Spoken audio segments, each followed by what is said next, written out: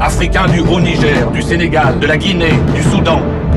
Vous allez contribuer à cette éclatante victoire.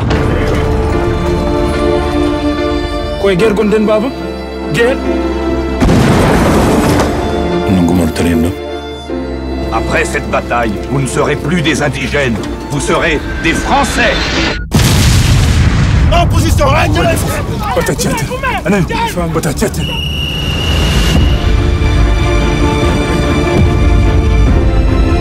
Plusieurs de mes caporaux sont tombés, j'aimerais que vous les remplaciez.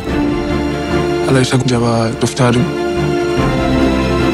feere wonde ala ɓamam poɗɗen ko haaɓede ha polen ko noon mbawirten hodde tumen jafuɗam kono dow wona an tajat asiwatimmo sagata mbiɗa yiide cukaleni wara sagatawa